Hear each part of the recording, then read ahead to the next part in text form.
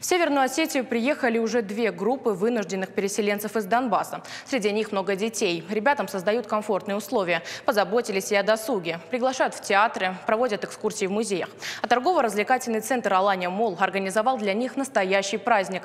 Поход в кинотеатр, угощения, игры с аниматорами. Сейчас такой теплый прием для них особенно важен. Своими эмоциями ребята поделились с моей коллегой Сабиной Гатаговой.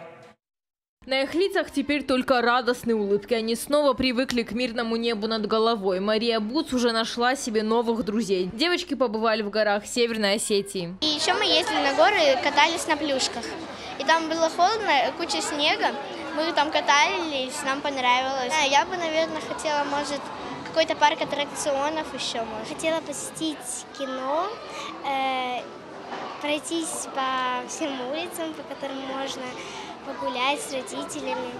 Просмотр мультфильма, вкусный обед, игры и аниматоры. Все, чтобы отвлечь детей от страшных событий. Руководство развлекательного центра «Алани Мол» сразу после приезда беженцев решили подготовить для детей такой теплый прием. Конечно же, для психики детей это очень важно. В свою очередь, все, что возможно от нас, мы постараемся сделать, чтобы они чувствовали себя как дома и знали, что ну и все это пройдет и все наладится. Положительные эмоции – большой шаг к тому, чтобы забыть о происходящем дома. А для родителей вновь слышать звонкий смех своих детей – главный подарок.